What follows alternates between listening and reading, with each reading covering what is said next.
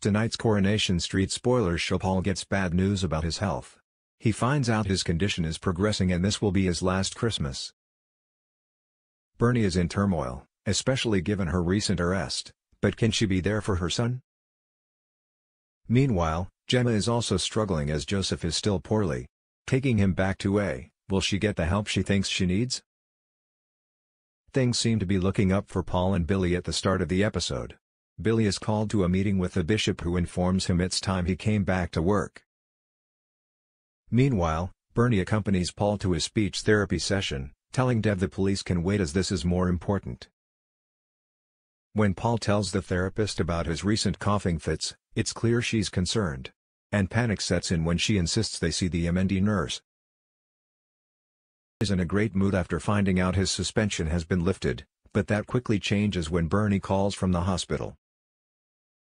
As he rushes to be by his husband's side, the MND nurse breaks the terrible news Paul only has 6 to 12 months left to live.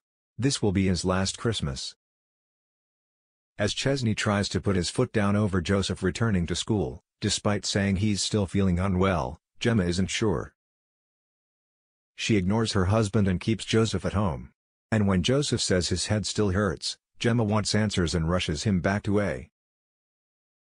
Bernie blames herself in Coronation Street spoilers. With Paul's heartbreaking news, Bernie can't believe it when Abby tells her Joseph is in A. She blames herself. Sharing her troubles with Abby, Bernie says it's all her fault because she was such a terrible mum. At last, Carla realizes where her priorities lie in tonight's Coronation Street spoilers. As Peter tells her he's happy to go to his AA meeting alone, she heads off to the factory. Soon feeling guilty about choosing work over Peter, Carla rushes home to be by his side. She insists there are more important things than work and she's going with him. Peter's touched, but with his exit looming, we know there are more stormy waters ahead. Amy organizes a drop-in for the counseling charity and Summer helps out. When a girl calls in, Summer hands her a flyer. However, as Summer and Amy are distracted, the girl leaves and Amy's cross with herself for not paying more attention. Summer is worried her friend is getting too involved, but will Amy realize that?